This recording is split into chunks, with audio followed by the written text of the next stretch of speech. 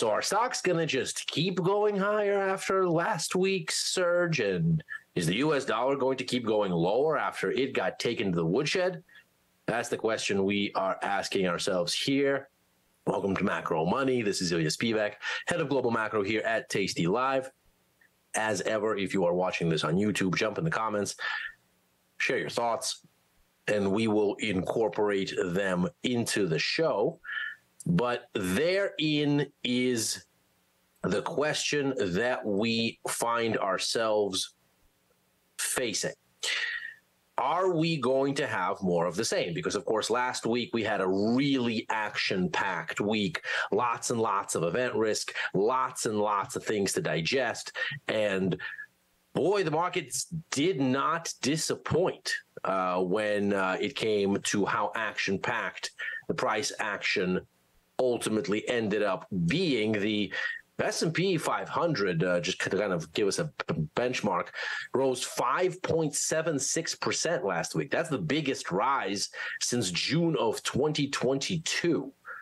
The dollar got absolutely smashed. It went down 2%, which was the worst weekly performance in 4 months. All of this uh, around mainly the idea that the Fed is uh, done raising rates here, confirmed by the FOMC with a wink and a nudge. Um, obligatory, though those are. And uh, likewise, uh, the sort of working out of the geopolitical risk premium out of markets. Um, very tellingly, gold did not accelerate higher last week, despite um, the situation between Israel and Hamas only escalating. Uh, the price of crude oil did not go higher. As a matter of fact, it went uh, lower instead. Uh, all of that suggesting that the markets, as with the Ukraine war, uh, after the initial shock, have kind of benchmarked what is going on here. They've priced that in and they've said, okay, well, as long as no new combatants enter the fray here to fundamentally alter the landscape, this isn't anything that we need to worry about. Let's focus on the Fed and the prospect that money isn't going to keep getting more expensive, but instead that stimulus might be on the horizon. And so the question for this week then is is it smooth sailing? And the answer is well, maybe. Uh, but we are not without a bit of event risk to consider where things might get a little bit dicey, in particular because the moves were, of course, so large. And so it's possible that markets might be in a kind of digestive state where we don't necessarily get aggressive follow through just because we uh, don't necessarily have anything changing. We've come a long way. And so there's maybe some tactical uh, position management, some tactical portfolio rebalancing now that we've had those big moves. So maybe we don't go very far. So what we're going to do here is see what does stand up, the top three catalysts here that stand up to uh, give us some macro impetus for markets and see what they're likely to do and why. And we begin with a conversation about Australia. So here we have another central bank getting ready to make its policy announcement. And it gets interesting here because, of course, over recent weeks, we've heard from the ECB, uh, the European Central Bank. We've heard from the Bank of England. We've heard from the Fed. All of them basically giving us a obligatory scripted, we want to beat inflation, but kind of uh, kind of a guidance saying, yes, we want to beat inflation. Yes, we still have more fighting to do, but we already have so much tightening that's still in the pipeline. It takes months and months, over a year, for a single rate hike to be fully absorbed into the economy. It is still very much absorbing what we did last year and in the first half of this year let's back up here. The global economy looks like it's very much on the cusp of a recession. And now it looks like everybody uh, is basically going to walk into this recession holding hands uh, all at the same time. So the question increasingly for markets seem to become, as incidentally we anticipated here on macro money, who will have stimulus first? And the markets will start to reward that to basically say, we are not so much looking for where there are more hikes or where economic conditions are better because there aren't any more hikes, it looks like, and economic conditions aren't better anywhere at this point. The US was, of course, the standout, but now looks increasingly like it's going to catch up downward with everybody else. But instead, where are conditions so bad, so dire, that we've seen the critical mass of bad news? Stimulus will come soonest this is where risk appetite wants to go because this is where the healing salve will be dispensed most promptly. So, with that in mind, we look at the RBA here, which is yet another major G10 central bank in this narrative. The expectation that uh, that the markets are baking in here as we get ready for the RBA in just a, a matter of hours here is that there's about a 53, 54% chance that they're going to hike rates again at this meeting. There's a further 23% chance that they're going to hike at the next meeting and skip this one for a cumulative 77% between one and the second.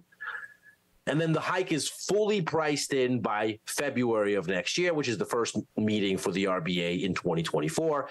There's about a 32% chance that it happens then. So the markets are kind of leaning in the direction of it happens now or it happens in February. But by February, we get one more hike.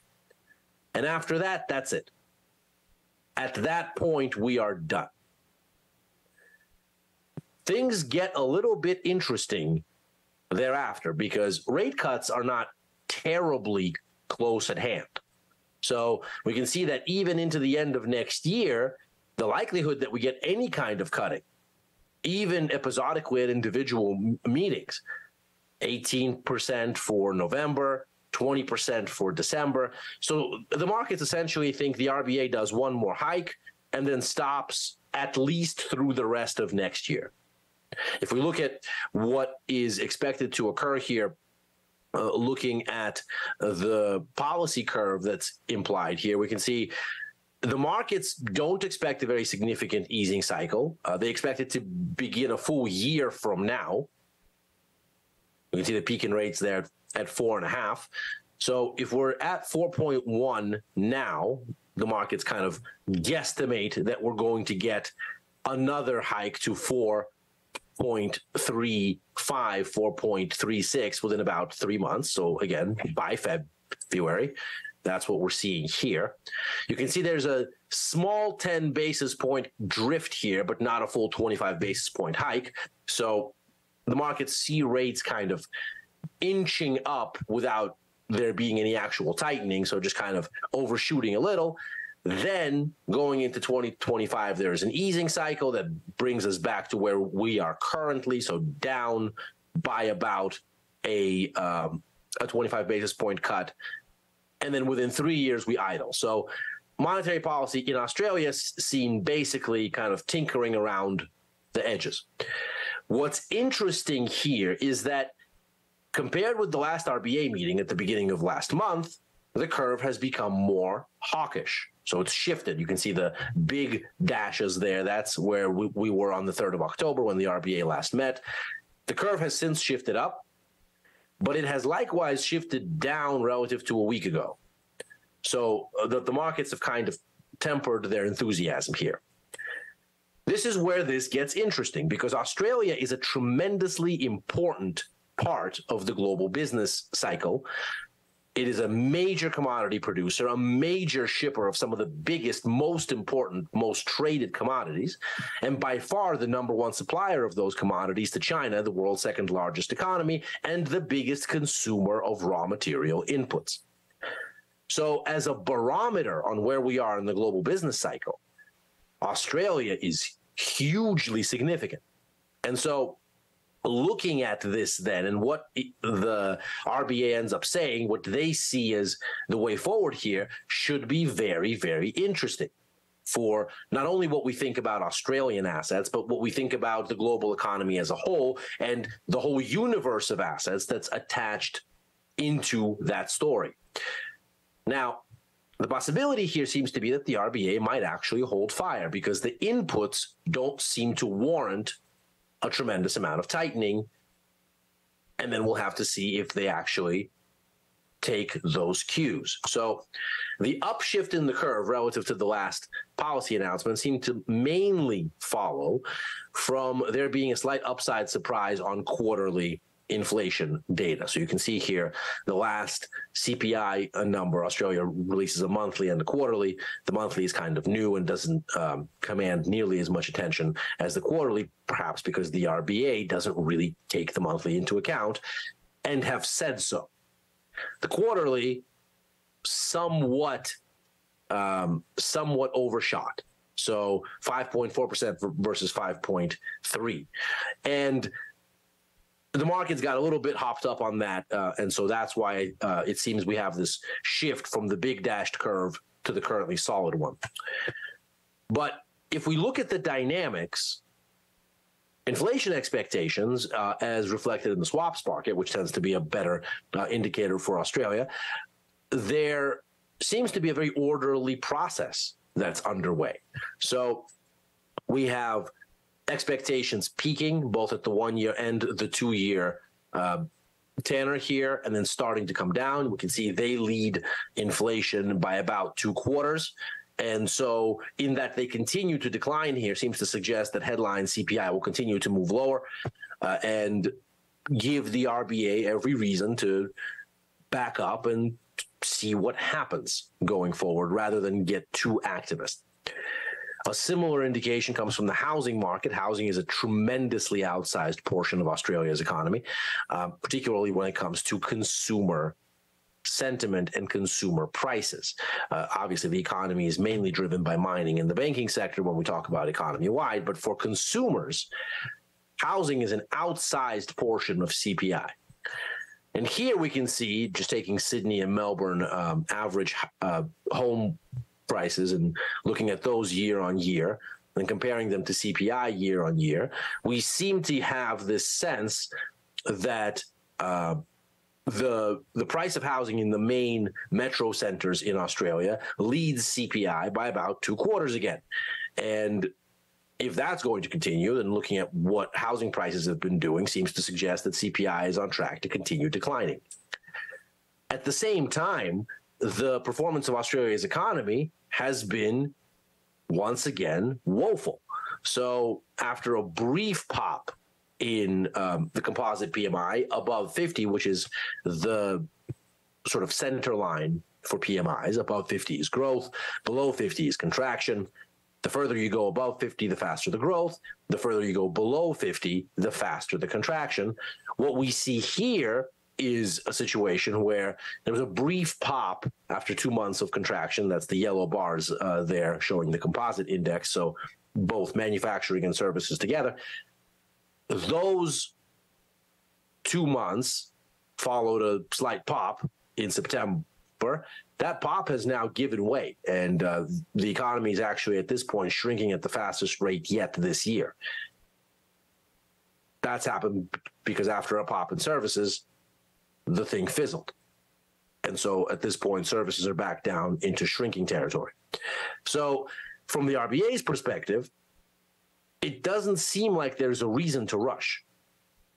They will almost certainly come out and give us all of the familiar talking points that we've now heard from all the major central banks, but it doesn't look like there is a sense of imminent inflationary doom here, that the urgency, it just isn't there to keep tightening.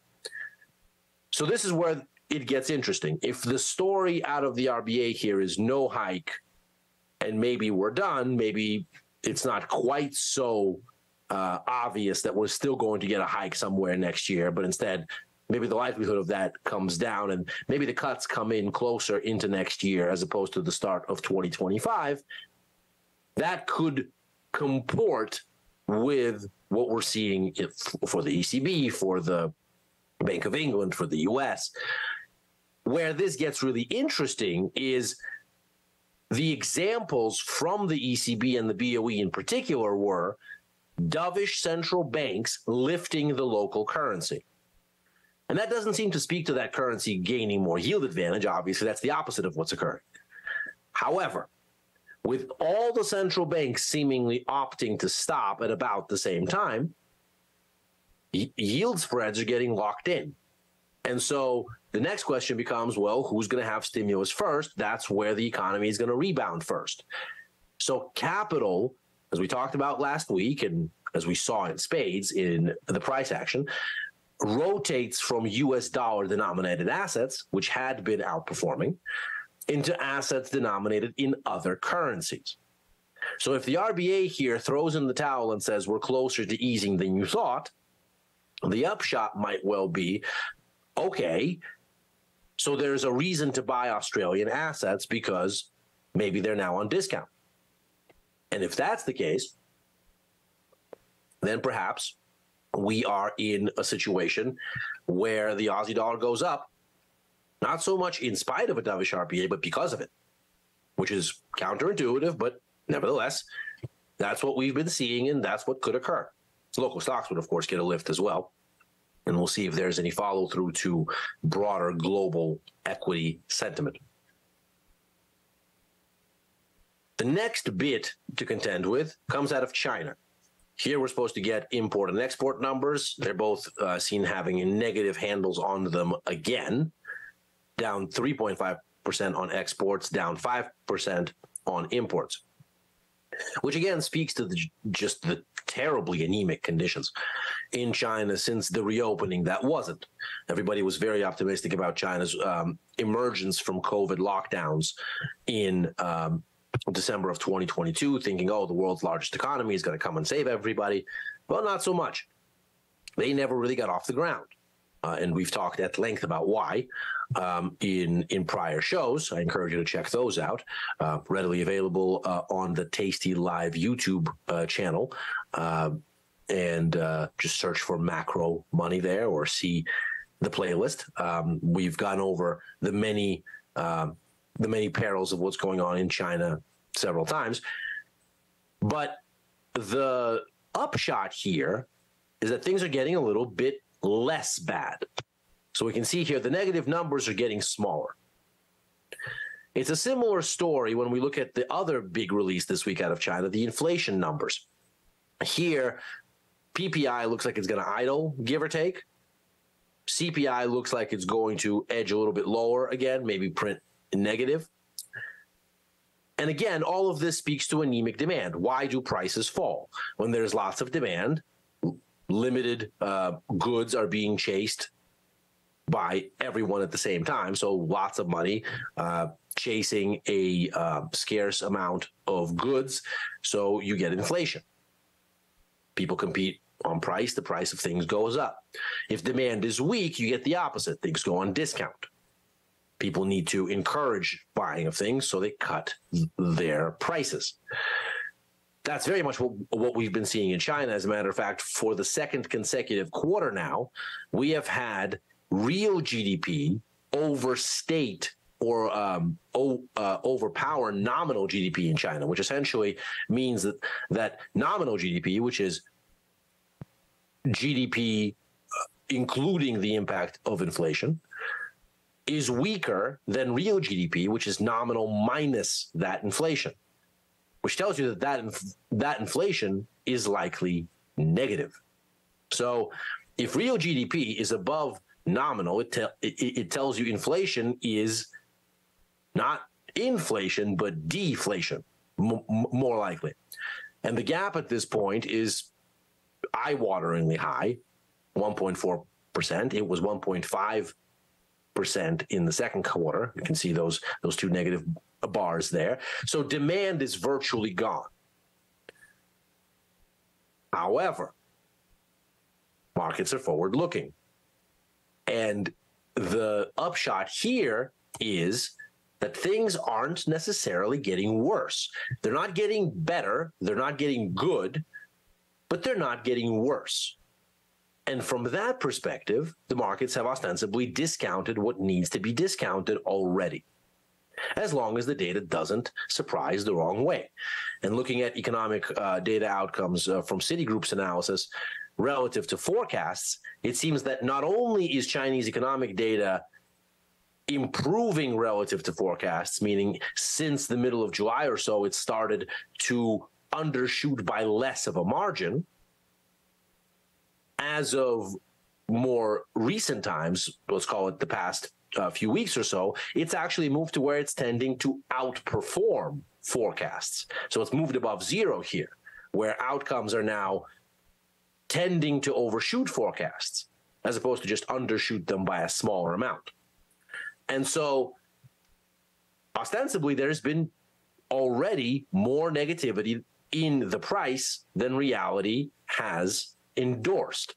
And that's the price of you name it Chinese asset. So with that in mind, these numbers don't need to give us anything good. They just need to give us something that isn't worse. And from there, bargain hunting might ensue. What we see from um, the way that markets have performed in the U.S. versus China this year so far, the CSI 300, which is sort of China's version of the S&P 500, a big catch-all index, that's down almost 11 percent.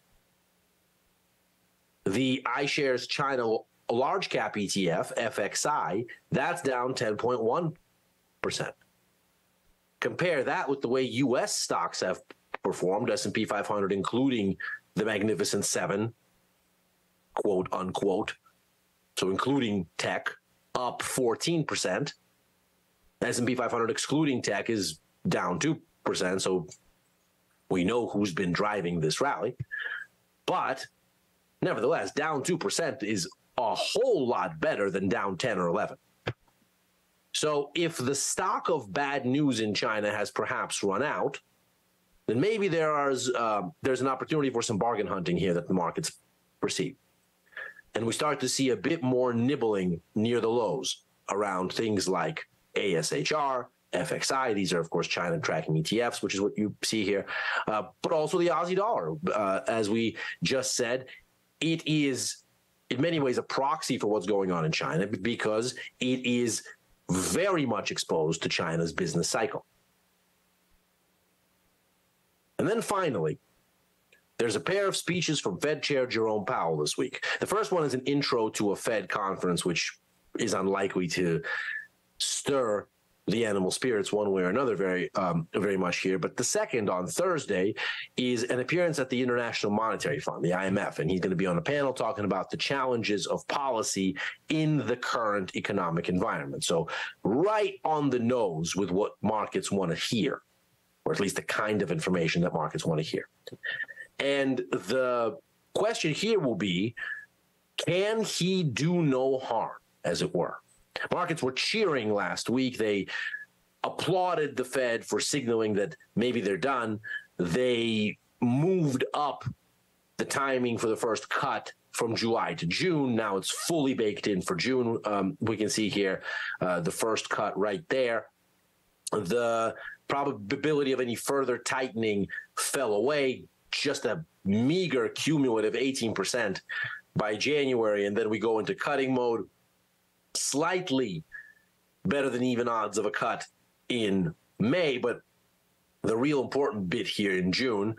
And then here we can see, whereas we were kind of saying maybe two cuts leaning to three before the FOMC last week, now we're saying three over the course of next year with a meaningful 42% probability for a fourth. So that's a full one percentage point off rates if that occurs. And then we're real close to fully pricing it in by January. 91% chance that we get that fourth cut by January of 2025. So the market's very much expecting a more dovish Fed this go round um, after the latest FOMC than before it. And you can see that in the shifting of the curve. So, of course, the FOMC was just last week. So the difference between the current curve and the uh, FOMC curve uh, from the first of November are is is minuscule. But a week before today, we were looking at a more hawkish Fed curve. You can see that right here. So over the course of a week, we shifted from this more steep curve to this shallower one.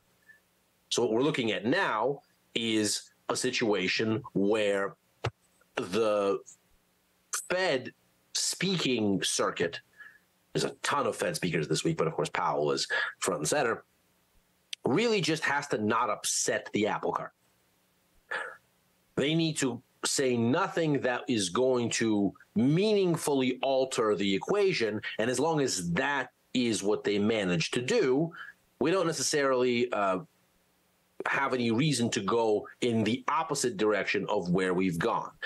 And we can see what that's looked like. So from July, we can see rate cut expectations for where we're going to be in the 12 months between December of this year and the end of next have been reduced. So here we're looking at about uh, almost 2%, 1.75% in cuts over this period. So between this upcoming Fed meeting next month and the end of next year. And we can see that as worries about the banking crisis receded, as worries about the debt ceiling receded, those cuts started to fall away. And as the prospect of higher interest rates filtered into markets, the S&P took notice and said, "Oh, it's going to be more expensive to finance earnings. We need to bring the price down." So as we've seen these cuts evaporate out of the outlook, stocks have come down.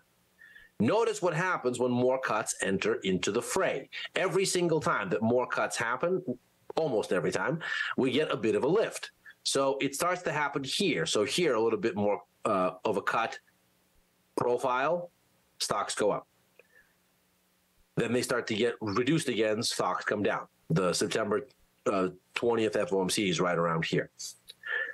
Again, you start to get a little bit more of a cut possibility in this period, slightly deeper cuts, stocks go up. Once they start to get hemmed in again, stocks come back down. And then most recently, we start to really build in more cuts as the Fed does its dovish pivot last week. There's last week here.